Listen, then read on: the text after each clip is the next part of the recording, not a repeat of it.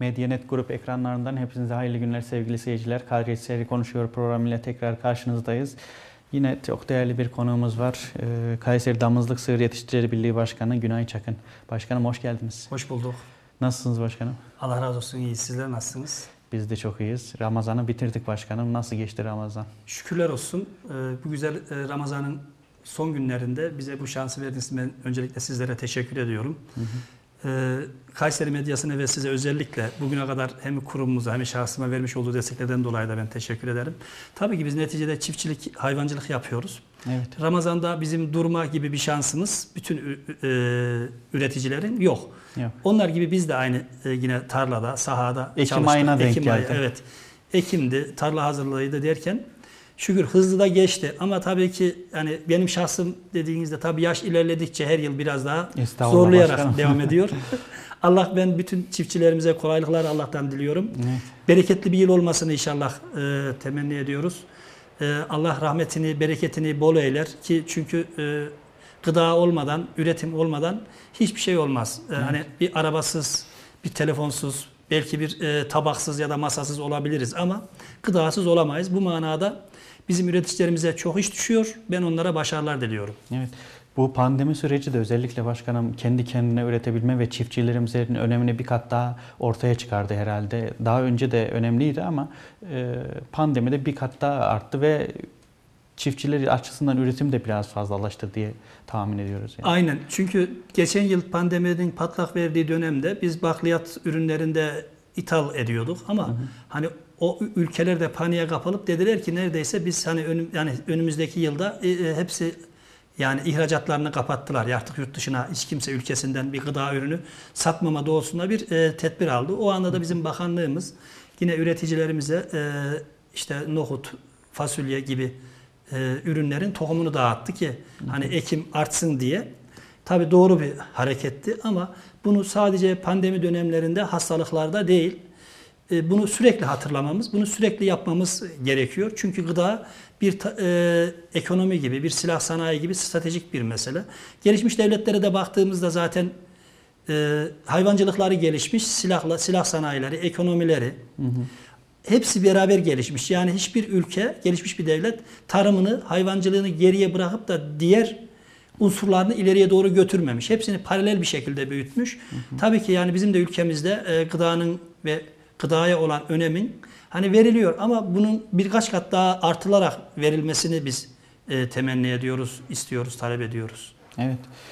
Başkanım e, yavaş yavaş birliğe çalışmalarına, faaliyetlerine gelelim. Neler yapıyorsunuz? Pandemi sürecinde neler yaptınız? Nasıl geçti? Evet, pandemide de yine e, maske mesafe kuralları çerçevesi içerisinde biz üreticilerimize, üyelerimize hizmet vermeye devam ettik. Hizmetlerimizin hiçbir tanesini askıya almadık. Ama tabii ki takdir ederler ki üreticilerimiz bizler de bununla ilgili e, hem onların güvenliği için hem personellerimizin güvenliği için tedbirli davranmaya çalıştık.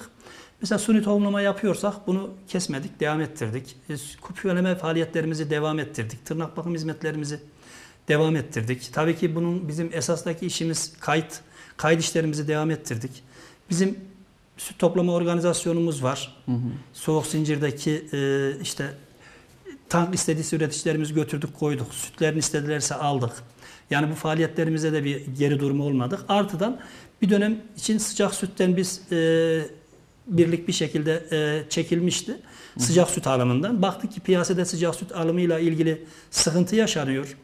Yani üreticilerin ezildiğini gördük. E, işte 2020'nin sonuna doğru e, sıcak süte de olan yani sıcak süt dediğimiz üreticinin direkt 20-30 kilo, Evet. 40 kilo, 100 kilo neyse sütü var Ürettiği sağıyor. sütler. Soğutmadan e, bizim ekibimize teslim ediyor ya da tüccara teslim ediyor. O manada da bir artı bir faaliyetimizi biz öne aldık. Böyle bir hizmetimiz oldu ki süt fiyatını fiyatının Ulusal Süt Konseyi'nin belirlemiş olduğu ulusal bazdaki fiyatların da bizim bölgemizde yer alması açısından e, önemliydi.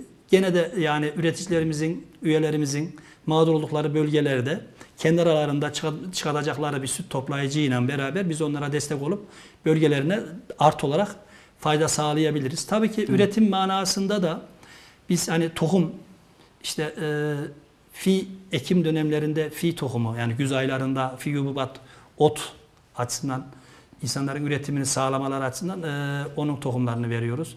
Mısır ekim dönemlerinde mısır tohumu veriyoruz. Aynı yine bu Evet. faaliyetlerimiz devam etti. Bunun yanında biliyorsunuz bir markamız var. Evet. Ee, üretim Kayseri'nin yapıyoruz. markası. Kayseri'nin markası. Kayseri'nin ismiyle ismini söylememde sakınca yoktur. Yok. Hunat. Hunat, Hunat süt diye. Bununla ilgili de e, çalışmalarımız devam ediyor. Tabii ki bunda etkilenmedik değil, etkilendik pandemiden dolayı. Çünkü e, biliyorlar ki pazar e, bu zincir marketler tarafından büyük oranda e, ele geçirilmiş. Evet. Hani ele geçirilmiş. Dolayısıyla onlara ürün vermek için e, çok büyük sizin de üretim yapmanız gerekiyor. Artı onların istediği nitelikte ürün yapmanız gerekiyor ki bunların sade amacı karlılık. Ama biz Hunat olarak, Damızlık Süreçler Birliği olarak bizim tek amacımız karlılık değil. Biz hem üreticimizin ürününü para ettirmek hem de tüketicimize sağlıklı ürün sunmak.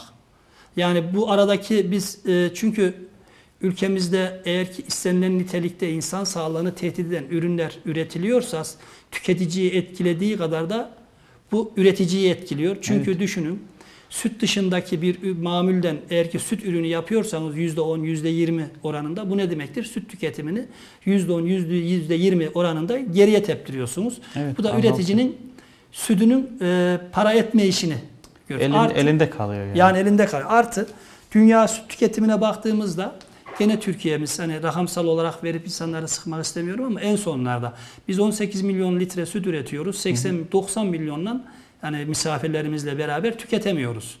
Yani dolayısıyla yani süt ve et tüketimimizde de bizim zaten bir sıkıntı var. Evet. Yani insanlar bu işi para kazandığı sürece sürdüre- sürdürebilirler. Artı hayvancılık ve tarım bir gelenektir. Yani dışarıdan bir iş adamı girebilir ama karlı olduğunda devam eder, karsız olduğunda hayvanları kesip ya da o işletmeyi yok edip çıkabilir.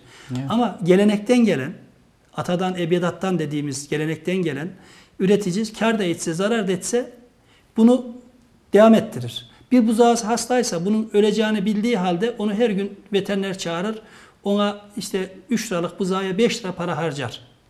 Bizim esas da sahip çıkacağımız insanlar bu insanlar. Yani bunlar olduğu sürece biz hani gıdanın kıymetini gıdanın kıymetini sade bugün de değil. Bütün birimleriyle hatırlamamız lazım. Bu işin sürdürülebilir kanatlarıyla, ayaklarıyla beraber yürütmemiz gerektiği açısından ben bunu söylüyorum. Yani e, işte marketlerimiz var. e, Hunat'ın kendi marketleri, dağıtım ağımız var. Biz tutun ki sütün çiğ olarak toplanmasından ayran mamul olup da tüketiciye sunulması olan bölümü birlik olarak biz yapıyoruz. Yani hiçbir şekilde aracı firma kullanmıyoruz. Evet. Yani tamamını kendi ekibimizle, kendi araç ve ekipmanlarımızla yapıyoruz. Bu- Burada da tabii hem tüketicimizden hem üreticimizden destek bekliyoruz. Evet.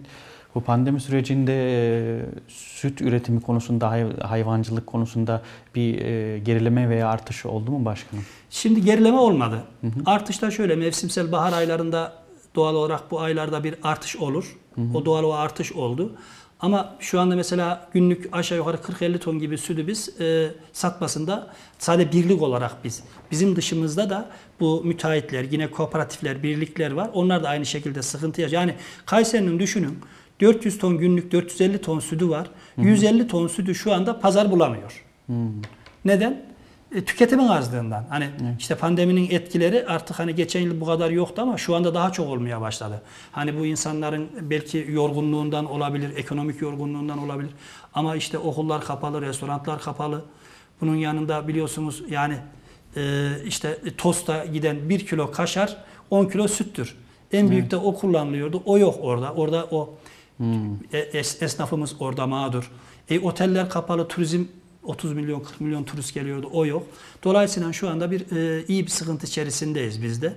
Ama tabii ki yani bu bizi yıldıracak değil. Tabii burada devletimizin e, süt tozu desteği var ama orada da fabrika bulamıyoruz ürün yaptırmaya.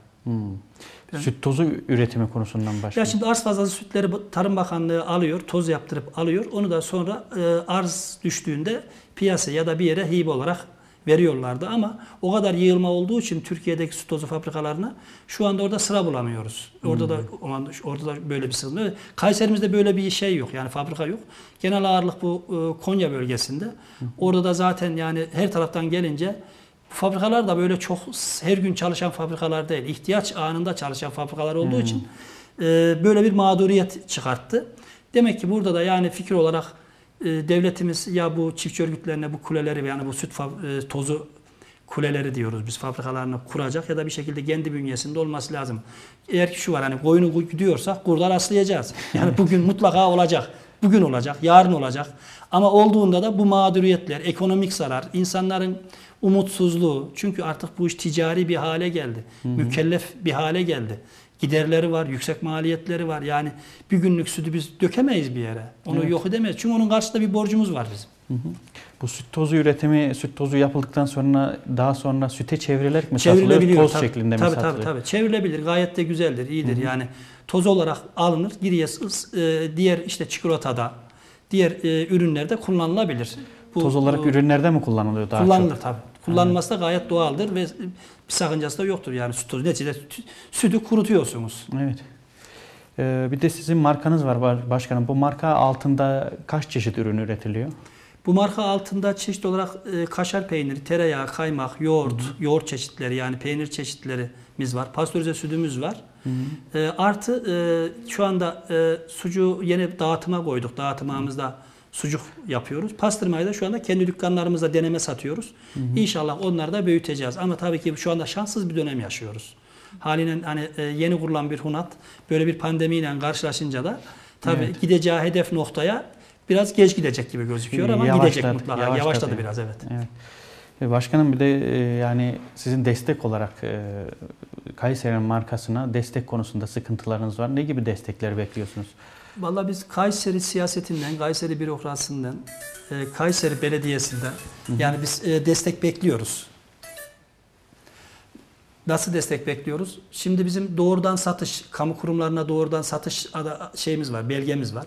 Yani ihalesiz olarak direkt satarız. Yani Kayseri'nin üretmiş olduğu sütü önce bir Kayseri'li tüketmesi gerekiyor. Hani dedik ya demin 150 Evet. ton gibi süt şu anda satılmıyor. Ama bu ürün burada tüketiliyor mu? Nereden geliyor? Dışarıdan geliyor.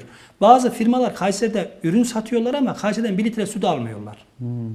Hani dolayısıyla bu da Kayseri'nin ekonomisine halinden bir zarar veriyor. Yani ticaret nedir? Satacağınız alacağınız, satacağınız alacağınız. Ama Evet. sade satıp almıyorsanız bu tabii sıkıntı. Yani burada tabii Büyükşehir Belediye'mizin kuruluşları var. Ee, işte kendi e, iktisadi kuruluşlar var. Evet. Burada tüketebilirler. Diğer belediyelerimiz Mesela diğer belediyelerimiz burada tüketebilirler. Mesela biz pastörize sütle ilgili kendi personel ve yönetim aramızda hatta il müdürlüğümüzün de desteğiyle askıda süt başlattık. Bununla ilgili dağıtım da yapıyoruz. Çok medyaya çıkmıyor ama yani kendi aramızda askıda süte destek verebilirler. Artı bugün hani patatesten olduğu gibi süt alıp bizden bugün ihtiyacı olan ailelere bunu ulaştırılabilir. Ulaştırmasında biz de destek olabiliriz. Hani böyle destekler e, bekliyoruz ki olması da lazım. Yani diyorum biz daha öncesinde Ankara Belediyesi'ne ürün satıyorduk. Ankara Belediyesi'ne oradaki çiftçiler şikayet ettiler. Hani Kayseri'den geliyor, dışarıdan geliyor. Biz satacağız dediler. Şu anda tamamen kendi marketlerinde kendisinde Ankara'daki üreticilerin sütlerini, ürünlerini alıyorlar. Hani dolayısıyla onlar orada bunu yaparken bizim de burada e, bunu yapmamız kadar doğal bir durum yok. Yani burada Büyükşehir Belediyesi'nin bize destek olması lazım. Bu sütlerin tüketimiyle ilgili e, bizden fikir alışverişinde bulunup burada desteklerini biz bekliyoruz. Evet. Bu markanın kuruluş sebebi de tamamen üreticiye destek vermek e, maksadıyla herhalde başkanım. Sütlerini elinden alıp ürüne çevirip satma yoluna gidiyorsunuz. E, büyüklüğü ne kadar bu üretim tesisiniz? Kaç kişi çalışıyor? Biraz da onların detayları Evet. hakkında bir bilgi alsak. Evet biz şimdi e, zaten bizim bünyemizde çalışanlar e, veteriner hekimler, ziraat mühendisleri, gıda mühendisleri, teknikerler, teknisyen. Yani tamamen teknik personellerle biz çalışıyoruz. Evet. Kuruluş amacı da e, üretici sütünü satarken fiyat belirleyemez. Yem alır, fiyat belirleyemez. Diğer girdileri alır, fiyatını belirleyemez. Yani düşünün aldığı ürünlerin de sattığı ürünlerin de fiyatını belirleyemez. Niye? Üret bütün paydaşlarının vicdanına kalmıştır ticareti. Mesela süt satacak. Süt sanayicisi der ki ben senden şunu 3 liraya alıyorum, 3 alır, 1 alıyorum der, 1 alır. Hiçbir koruyucu şemsiyesi yoktur. Koruyucu şemsiye nedir? Hani devletin yanında, devlet tabii ki vardır. Onun yanında kendisinin yapmış olduğu ürünleri de tüketicinin buluşturmasıdır. Ki o zaman söz sahibidir. Süt çünkü onun eline eteğine baktığınızı o zaten biliyor. Evet. Yani sizin maliyetlerinizi de görmez. Yani bu ticaretin vahşice döndüğü bir dünyada senin battığın, kalktığın insanlar düşünür mü? Hayır. Evet. Siz ne yapmanız lazım? Orada bir politika var. Siz bir politika oluşturmanız lazım. Nedir bu politika? Üreticinin üretmiş olduğu ürünlerin %30'unu daha büyük kapasitesi olması lazım ama en az %30'unu üretip tüketicinin buluşturması lazım. Daraldığında bunu %50 %60'lara çıkartması lazım. Demesi lazım ki arkadaş tamam sen benim malımı, ham maddemi bu fiyata almıyorsam ben de bunu yapıp tüketicinin buluşturuyorum demesi lazım ve diyecek güce varması lazım. Şimdi bazen işte biz bazen işte üreticilerimiz de konuya çok vakıf olmayabiliyorlar. Hani olmuyor dediğim üreticiler bu işe sonradan girenler. Yani adamın başka bir işi var, bu işe girmiştir. Başka bir e, ticareti vardır, bu işe girmiştir. Bu konuya çok vakıf değil. Diyor ki ya işte birlik işte, işte Hunat'ına ne işi vardı ya da hani ya şimdi hemen dönelim. Dünyadaki gelişmiş devletler hani hiçbir şey Amerika'ya ne yapmışlar? Bugün Fransa'da kriz olduğunda peynir yapıp stoka koyup süt fiyatlarını belirliyorlar. Bugün bizim inan olun yani birliklerin, çiftçi örgütlerinin hani istisna şey yapmaz ama 5 ton sütü bir yere koyacak yeri yok. Ya da mamül yapıp onu saklayacak bir yeri yok. Ya da bunu pazarda buluşturacak bir yeri yok. Ha, yeni yeni olmaya başladı. Bu kervanın içerisinde Kayseri Damızlık Sığır Yeşiller Birliği de Hunat adı altında ben de varım diyor çiftçileriyle beraber. Ki bu hani bu benim yönetim dönemimde de olsa olmasa da bu olması gereken bir durum. Yoksa razı geleceğiniz başınızın ezilmesine. Ya çıkıp bunu tüketiciyle buluşturacaksınız. Buna destek olacaksınız. Bugün daraldığımızda biz 3 ton 5 ton sütlerde daraldığımızda Hunat'a gönderip kaşar yapıp peynir yapıp bunu biz satıyoruz. Bu bazen oluyor ki biz 500 litre sütü üreticimizden alamıyoruz. Diyor ki fabrika ben alamam arkadaş fazla diyor alamıyoruz. Ama bugün mesela bugün geldiğimiz noktaya kadar biz Hunat'ın birçok şeyinden faydalandık. İşte mamül yaptık, kaşar yaptık, peynir yaptık, verdik falan derken e, bize bir katkısı oldu. Ha istediğimiz manada mı? Değil. Hani kapasiteye geldiğimizde zaten burası küçük bir işletme. Hani kapasitesi de üründen ürüne değişebilir. Evet. Yani üründen ürüne değişebilir. Ama biz daralsak günlük 10 ton, 15 ton pastörize süt. Daralsak yine ki proseste 5-10 ton kaşar. Ee, işte onun yanında 5 ton yoğurt gibi yapıp bunları topladığımızda 40-50 tona çıkabilir. Ama dediğim gibi yani siz ürün yelpazenizi geliştirin. Burası küçük ama her ürünü yapabilen bir fabrika. Az az yapar ama hepsinden yapar. Çok Zaten güzel. yeni de şimdi tarım e, oran ajansa bir proje yaptık 1 milyon liralık. Yeni bir yine bir modernize edeceğiz fabrikamızı. Sürekli diyoruz zaten. Onunla da biraz daha e, kapasitemiz büyüyecek. Ve daha çok ürün yelpazesi ve da- daha çok üretim olacak herhalde başkanım bundan yani biz sonra. sattığımız sürece ü- üretimimizde hiçbir sıkıntı yok. Dediğim gibi küçük ama her ürünü yapabilen yani büyük bir fabrikanın minyatürü bizimki. Evet. Bu e, satma konusunda da başkanım e, pandemi mi daha çok etkili en oldu? çok tabii. Biz en çok pandemi etkiledi. E, Çünkü, çok iyiydik. Evet, süt e, alınıyor. İçme oranları çok fazla artsa da yani gıdaya olan talep arttı.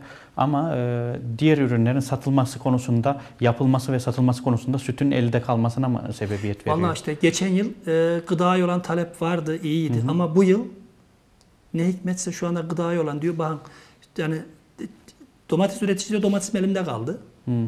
Süt üretici diyor süt elimde kaldı. Patates diyor patates elimde kaldı. Acayip bir yıl yaşıyoruz. Yani oysa ki gıdaya olan talep, insanların tüketimi azaldı.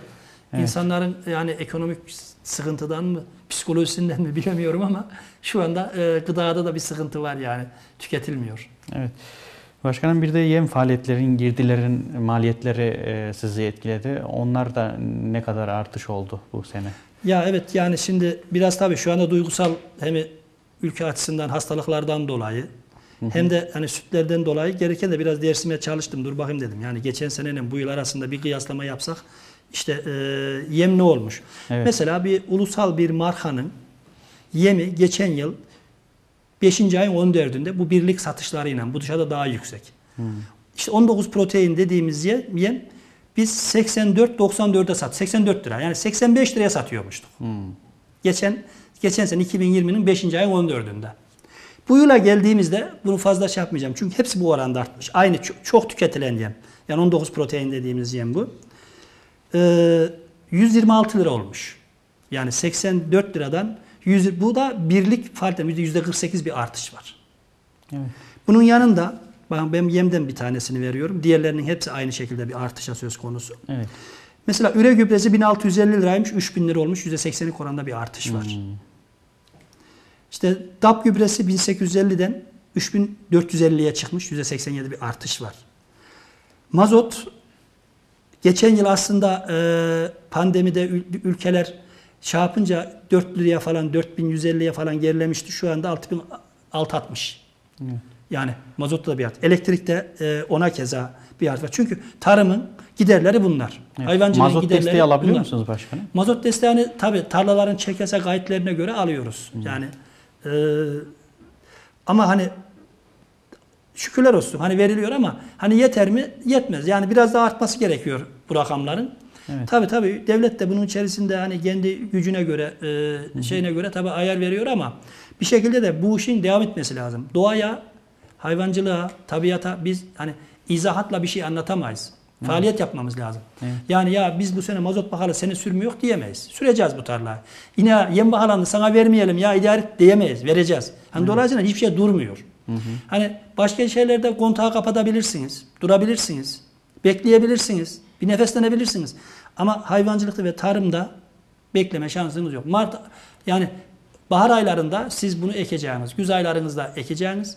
Bu ineğinizi günde iki öğün besleyip iki öğün sağacağınız. Bunun durma şansı ve maliyet hesabı ya da hiçbir hesabı yok. Buna devam edeceğiniz. Etmeniz lazım, insanınız doyacak. Etmeniz lazım, siz zarar edersiniz. Bu işi bırakırsınız. E çiftçi de bırakıp da ne iş yapabilir? Yani çiftçi gidip bir yerde nerede çalışabilir? Mesela çiftçilik. İşte inek sağmayı bilir, tarla sürmeyi bilir. İşi bu yani. Süt ürünlerinde e, ne oranda artış oldu başkanım? Şimdi tabii oraya gelelim. Süt ürünlerinde de e, baktığımızda geçen yıl 2300 lira 2.30 kuruş olan süt bugün 2.8. Gerçi onda 2.8'den 2 ay mı aldık ne yaptık? Yani e, şu anda 5. 5. aydayız. 4. ay krizle geçti. 5. ayda çok büyük krizle geldi bize. Yani yıl boyu 2020'de 2.3'e süt sattık. Hatta 14 ay sattık. Şu anda 2.8'e geldi. 2.8'den de süt satmakta zo- zorlanıyoruz. 2 ay sattık. Evet. Yani onun onun haricinde de yani oranlama da yüzde 30'larda falandı. Yani yüzde 28 30'lardaydı. Şimdi geriye gitti. Dolayısıyla yani düşünün yüzde yeme 48 50 oranında gelirken geriye gittiğinde yüzde 20'sü de e, zam gelmiş. Ve bunun yanında o diğer girdilerin mesela bizim kullandığımız demir, makine ekipmanlara onlara daha fazla geldi. Teknoloji, traktör 100 bin lira traktör şu an 300 bin lira oldu. Yani artık bunlar eskisi gibi insanların gücüyle yapılan bir iş değil. Yani makine ekipman gücüyle yapılıyor bu iş. Evet. Yani bir yem karma makineniz yoksa siz 5 hayvandan yukarısına bakamazsınız. Baksanız ona da kaç gün bakacaksınız. Yani dolayısıyla e, böyle bir sıkıntı var. Tabi yani bu sıkıntı içerisinde Türk çiftçisi de, Kayseri çiftçisi de üzerine düşeni alır. Der ki arkadaş yani ülkemde böyle bir sıkıntı var. İşte bu salgın var, ekonomi var falan. Ben buradan bir yük alayım der, sesini çıkartmaz. Ama şu anda emin olun ki bütün yük yem sanayicisi de, süt sanayicisi de tarafından, hele hele marketler tarafından tamamen üretimlerin üzerine bırakılıyor. Ya sen bunu taşı. Kardeşim nereye kadar taşısın? Bunun babası taşıdı, dedesi taşıdı. E torunu taşımak istemiyor artık. Evet. Başkanım bir de e, siz kendi markanız altında tamamen doğal bir üretim yapıyorsunuz. E, bir yandan da e, hileli ürünlerin fazlalığı var. Siz bunlardan da şikayetçisiniz. Evet. Hileli ürünlerin çok fazla olması doğal ürüne olan talebi de azaltıyor. Sanırım sizin bu yönde de şikayetleriniz var. Aynen öyle. Yani şimdi bizim biliyorsunuz ki yani eğer ki bir hileli ürün yapılıyorsa ki bakanlığımız bunu yakalıyor, destek şey yapıyor, takip ediyor, cezaları da ağır. Yapılıyorsa e, bu hem üreticiye hem tüketiciye zarar veriyor. Tüketicinin sağlığını tehdit ediyor, doğal beslenmesini tehdit ediyor. İleriye yönelik nesillerimizin tamak tadını, zekasını etkiliyor. Bu yanda da çiftçinin ürününü para ettirmiyor üreticinin ürününü para ettir- ettirtmiyor. Yani dolayısıyla bununla olan mücadele biraz daha sıkı yapılması lazım. Evet. Yani biraz daha hassas yapılması lazım. Türk Gıda Kodeksinde e, işte sucuk benzeri ürün ya da peynir benzeri ürünlerden biz vazgeçip sucuğun tarifini yapmamız lazım. Peynirin tarifini yapmamız lazım. Kaşarın tarifini yapmamız lazım. Bunun dışına ne çıktıysa o zaman yani bu parasaldan ziyade kapatmaya gidip bunları e, servis Göz dışı etmemiz yani yani. servis dışı etmemiz gerekiyor. Çünkü Hani hepimiz gidiyoruz hastanelere. Şimdi pandemi falan ama daha öncesinde biliyorsunuz ki hangi hastaneye gitseniz yürüyecek yer bulamıyorsunuz. Niye? Koruyucu, koruyuculuk yok. Yani insanlar yediğinden içtiğinden hasta oluyorlar. Evet. Yani dolayısıyla bu da ne yapıyor? Ülkeye, kamuya işte e, yük veriyor. Hastanelerimiz dolu, ilaç sarfiyatlarımız yüksek, insanlarımız sağlıklı değil, nesillerimiz sağlıklı gelişmiyor. Bir şekilde e, dışarının bize vereceği ilaçlara mahkum hale geliyoruz. Evet. Yani ama biz sağlıklı ürünler tüketsek, hastalık oranlarımızı e, %20 oranında düşürsek, düşünün bu ülkede ne kadar ilaçtan tasarrufumuz olur. Bu da ülke ekonomisine bir katkı olur. Evet. Ama bugün açgözlü insanlar e, sadece kendi ceplerini doldurma adına bin bir türlü hileli üründe e, rafa çıkıyorlar. Bunun yanında da yani bugün biz ben kar gütmeyen bir örgütüm. Tabii iktisadi şirket üzerinden ben bunu yapıyorum ama benim önceliğim markamı oluşturup bir markamı bir marka yapmak. Bunun yanında da e, üreticimin ürününü kar ettirmek. Ben yoğurdu alıp da bütün ürünlerimi doğal bir şekilde yaptığımda halen benim maliyetlerim bugünkü maliyetlerden yüksek oluyor. Evet. Yani benim de onlara uymam için o yöne mi kaymam lazım? Hayır, onların bize doğru gelmeleri lazım. O zaman biz hani e, hem ticari açıdan rahatlarız hem de vicdani açıdan biz rahatlarız. Evet. Ve biz bunu da zaten yani üreterek göstermeye de çalışıyoruz. Yani biz yoğurdumuzu eski annelerimiz nasıl yapıyorsa, peynirimizi evlerimizde nasıl yapılıyorsa aynı uslupla yapıyoruz. Ama maalesef yeni neslin damak tadı bayağı bir değişmiş. Evet. Yani fabrikasyon e, içine işte e, kıvam getirici, onun ömrü, raf ömrünü uzatıcı kimyasalların artık tadı da- damak tadımız olmuş bizim. Evet. Eski damak tatlarını unuttuk yani başkanım. Yani unutmuşuz. Yani bir gün yoğurt ek, bir yoğurt ekşi. Bu yoğurt ekşi deniyor. Oysa ki yoğurt ekşi olmam. Ekşiyecek tabii ki yoğurt. Evet. Tadı orada. Ki doğal olduğunu da oradan Yani, anlarız yani, yani başkanım. eğer ben bizim ürün biz demiyoruz ki ürünümüz bizim ürünümüz bozulabilir. Getirin biz değiştirelim. Bozulacak da. Evet. Bozulmuyorsa sıkıntı var zaten onda. Evet. Başkanım e, bir de maliyetlerden bahsettik bu e, süt ürünlerinde. E, Ortalama bir iyi maliyetli bir süt ürününün maliyeti ne kadardır? Yani ne kadar fiyata bir kaşar görürsek rafta almamamız gerekiyor bunun hileli olduğunu anlamak Ya için. ben şimdi ona, ona çok detayına girmeden şöyle bir şey söyleyeyim. 11 kilo ya da 10 kilo kaşardan 1 kilo sütten 1 kilo kaşar çıkıyor. Bugün 2.8 nakliyesi götürdük koyduk 3 lira. 30 lira bunun sade süt maliyeti var. Bunun işçilik, paket, raf, ambalaj, amortis şey e, finansları koyduğumuzda bu en az bir 45 lirayı görmesi lazım herhalde. Bir kilo kaşar. Yani bu Ya. maliyetlerine. Evet. Ama bunun altında gördüğümüz kaşar sıkıntılı. Yani Kat- katkı maddeleri. Yani. yani mutlaka ki yani mutlaka bir şekilde bir sıkıntısı var. Yani bunun 3.6 3.5 3.6 yağsıyla beraber direkt sütten bu mamule çevrildiyse e, maliyet ortada. Evet. Hani e, bunu en iyi usta diyorum ya onu 10 kilo ve 11 kilo ile çıkıyor bu. Sütün de maliyeti belli. Ha, sütün derken şunu söyleyeyim. Biz mesela süt organizasyonunda işte e, işletmelere süt soğutma tankı koyuyoruz. E, onlara diyoruz ki arkadaş bakın süt içeriğiniz işte Türk Gıda Kodeksinde belirlendiği şekilde olacak. Nedir bu? Yağsı 3.6 olacak. Ya da aşağı olmayacak. Somatik hücre bakteri işte bakteri 100 binden aşağı olacak. Somatik hücre işte 4 binden aşağı olacak.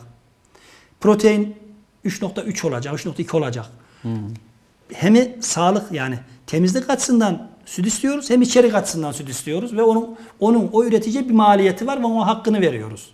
Ama siz derseniz ki üreticiye ya sen neyi sağarsan sağ şuraya koy ben alıp gidiyorum deyip o sütü ucuza götürüp de mamul yapıyorsanız yani 10 kilodan değil 20 kilodan da yapsanız gene sağlıklı ürün değil o. Evet. Yani üreticiyi yönlendirmek de çok önemli. Çünkü insanlar e, ağır bir iş yapıyoruz. Kolaylığı gördüğünde nefsimiz kayabilir. Olabilir ve bu da sahada oluyor zaten yani. Burada ben de üreticilerime buna e, pek mail etmemeleri tarafındayım. Çünkü bu ürünleri düzgün üretirsek şifa, yanlış üretirsek zehir ve bunun da vebalı çok büyük. Evet. Başkanım pastırmada, sucukta Kayseri Türkiye'de belli bir yerde e, ve birinci sıralarda diyebiliriz.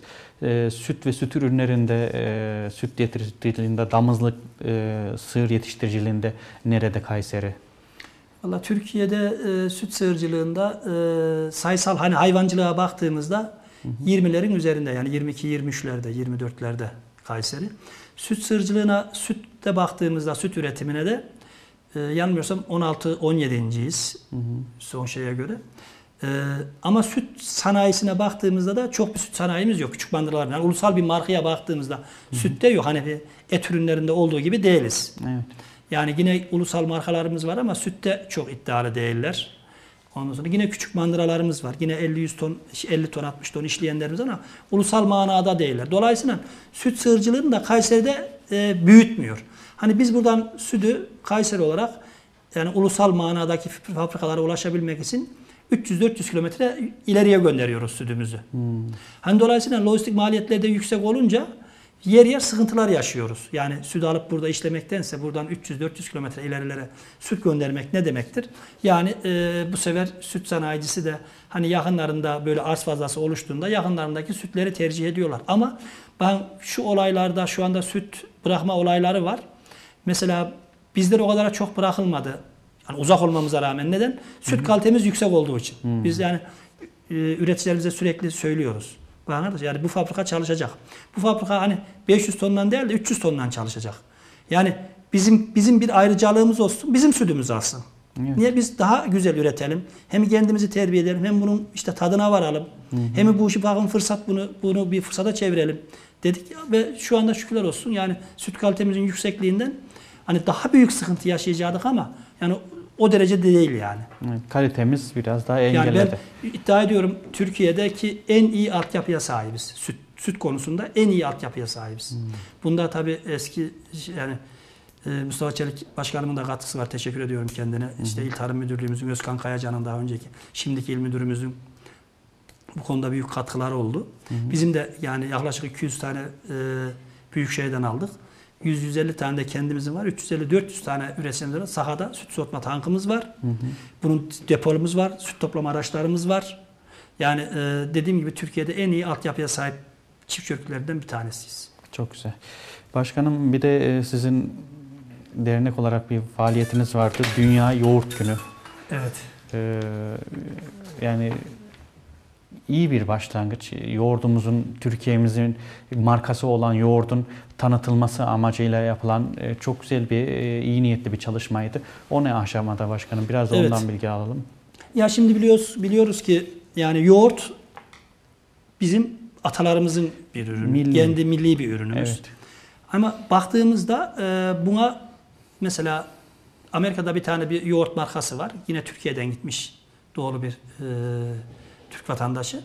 Orada çıka diyor yoğurdu. Önce Türk yoğurdu diye. Şimdi Yunan Krik yoğurt adı altında markalaşmış. Bizim yoğurdumuzu Yunanlara neredeyse peşkeş çeker gibi bir e, hal oluşturmuş. Baktık. Yine Nezir abinin kulakları çinlesin beraberce.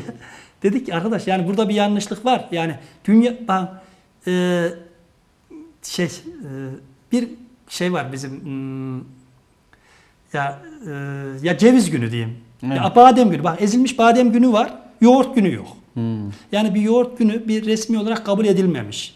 Halen buna da Yunanlılar bununla ilgili bir hani bu yoğurt bizim diye bir çalışmaya başlamışlar. Baklavaya kondukları gibi buna da konacaklardı. Evet. Biz dedik ki buna bir hani kendi gücümüzde bir tedbir alalım. Evet. Dünya 23 Mart'tı Dünya Yoğurt Günü olarak biz ilan ettik. Aslında bakanlığımızdan da destek gelecekti ama pandemi kurallarından dolayı o günkü yapacağımız e, tanıtımda e, birliği aldık. Siz de vardınız o gün. Evet. Birlik içerisinde yaptık o kutlamayı. Çünkü pandemiden dolayı şey yaptık ama en azından yoğurdun Türk yoğurdu olduğunu, Türk insanının olduğunu, milli bir e, yiyeceğimiz olduğunu da şu anda işte en azından Google'a geçtik. Orada gözüküyor. Böyle bir faaliyetin olduğunu da devletimiz de gördü. İnşallah önümüzdeki yıllarda da bunu büyüterek devam edeceğiz. Ve bunu dünyada e, yoğurt günü olarak tescillenmesini biz sağlayacağız. Hem Türkiye olarak hem de Kayseri olarak bizim için çok önemli olacak bu. E, belki o- ondan sonra bunun patenttir işte e, çalışmalarında Coğrafi e, işaret coğrafi konusu. işaretleri de e, yapılabilir ki bu tabii büyük bir e, hani buna devletin sahip çıkması gerekiyor. Tabii e, inşallah onlar da hani onlarla da bakanlıklarla da görüşüldü. İnşallah e, önümüzdeki yıllarda bunu biz yine kutlamaya devam ederken de bu altyapısını hazırlayacağız. Evet. En azından yoğurdumuza sahip diğer ürünlerde Yani. olduğu gibi Yani. sahip çıkmış olacağız. Aynen. Evet başkanım e, Programımızın ya- yavaş yavaş sonuna geldik. Var mı böyle son olarak e, eklemek istediğiniz e, ve belirtmek istediğiniz bir konu? Ben teşekkür ediyorum. Biz teşekkür Yani ederiz. sorulması gereken bütün sorular yani diyeceğim aklımdaki geçenlerin hatırladığım kadar hepsini sordunuz. Ben de cevaplamaya çalıştım. Allah razı olsun. Hı hı. Yani e, dediğim gibi yani 2021 yılının pandemiden hem dünyanın hem ülkemizin kurtulmasını inşallah temenni ediyoruz. Hı hı. Filistin'deki kardeşlerimize zulmün durmasını Allah'tan niyaz ediyoruz. Evet.